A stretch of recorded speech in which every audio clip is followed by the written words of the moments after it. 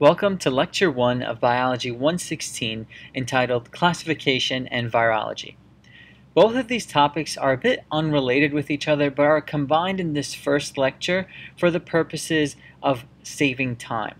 We're going to be beginning our understanding of Biology 116 by looking at classification. Much of the stuff that we look at in classification has already been seen or done before, and so it will be mainly a review. So to begin, we'll start by looking at classification, and we'll entitle this first flowchart Classification Roman numeral 1. So, in order to understand classification, the first and foremost thing we have to understand is the idea of a species, because this is what we will be classifying, what is classified in terms of this study. And the species is just simply going to be something that we already know. Um, it's the basic unit of classification. Just like the cell is the basic unit of life, a species is the basic unit of classification. So we'll write that down. So if this is the basic unit of classification, we must have some other concepts to understand behind the idea of classifying species. And those other concepts include the idea of taxonomy, which we'll do over here. So what is taxonomy? This is not new to us. We've seen this in Biology 115 uh, pretty briefly, but we'll just go over the main components of what taxonomy is. Taxonomy can be described as the naming and classifying of organisms, very simply. Naming plus classifying of organisms.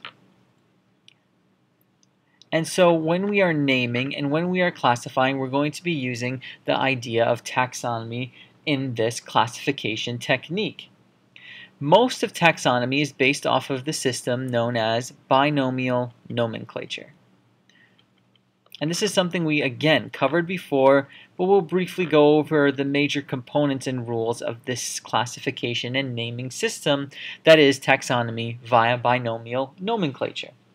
Binomial nomenclature is all about using a unique two-part name in your naming and classifying. So there's a unique two-part name in this classification technique binomial meaning two, bi meaning two, and the nomial referring to uh, the name, and nomenclature meaning classifying and naming.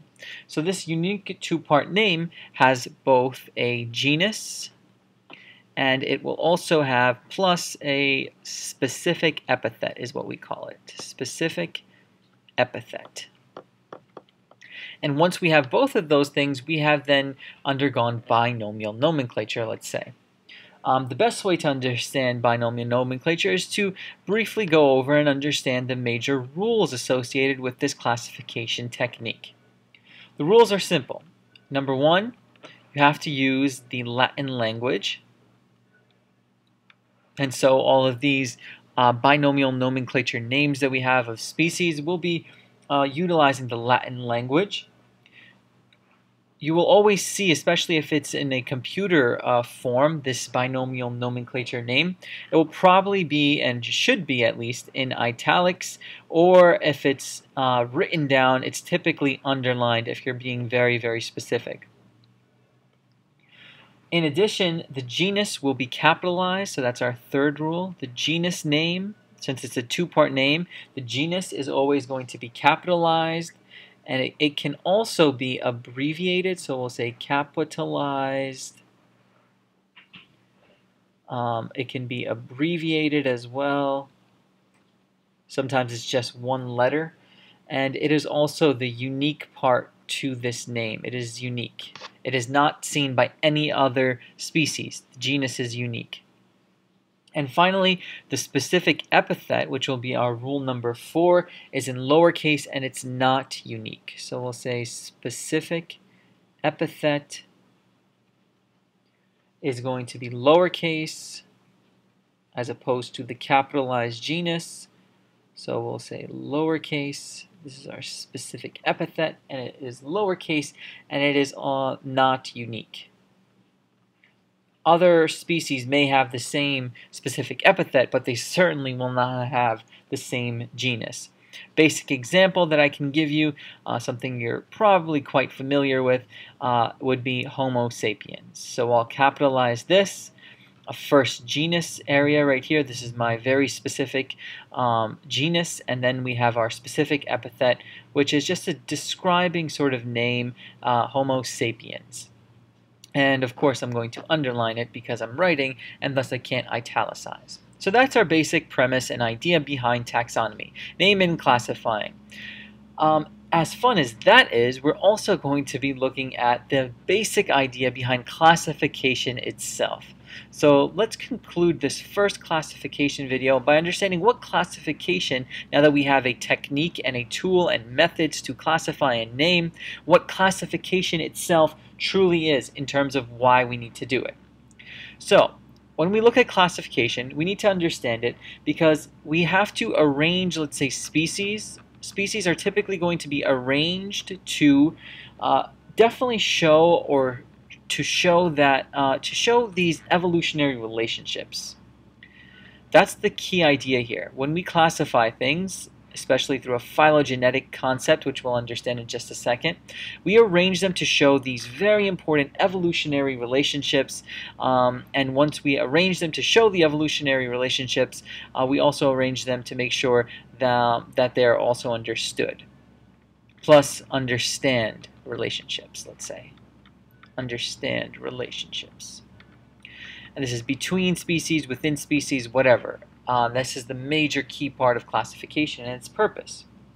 Um, again, the species is the basic unit that we're going to be working our classification off of, but other types of studies that fall under this idea of showing evolutionary relationships and understanding those relationships uh, would mainly be the idea of understanding what phylogeny is and understanding and studying this uh, concept of phylogeny this is basically going to be looking at evolutionary history of organisms. And again, this evolutionary history will of course show up and give you evolutionary relationships simply by the idea of looking at it from a historical standpoint. How do things relate to each other over time, in the past, in the present?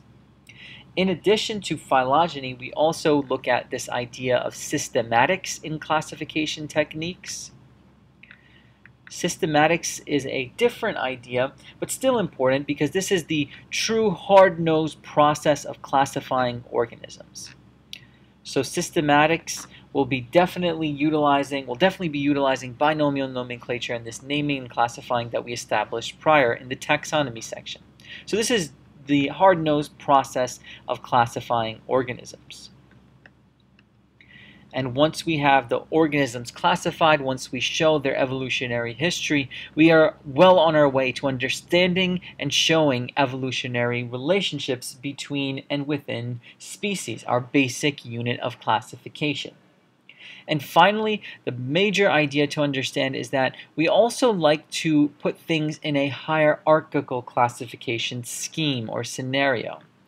And this is mainly because when we look at hierarchical classification, we are able to distinguish things that are above and below each other.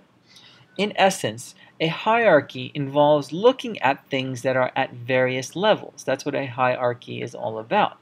So we can define hierarchy very briefly as something that involves or has various levels to it. And classification is no exception to this various levels concept of hierarchy. What we can understand is that when we look at a hierarchical system, let's say in animals or plants or whatever it may be, most of the time what we notice is that each level down, let's say in quotes over here, uh, let's say if we move a level down in our hierarchy, if we start at a large, broad level like domain and go all the way down to like a much more specific level like family or genus or kingdom, whatever it may be, each level down is going to be more exclusive. So we'll write is more exclusive. And that would mean that each level up would be more inclusive. So be uh, capable of understanding the distinction between going up the hierarchy and going down the hierarchy in terms of classification of species.